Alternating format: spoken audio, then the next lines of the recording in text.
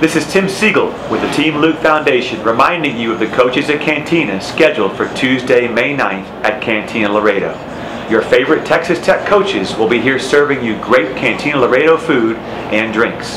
Plus, there will be a very special gift for each table and a live auction.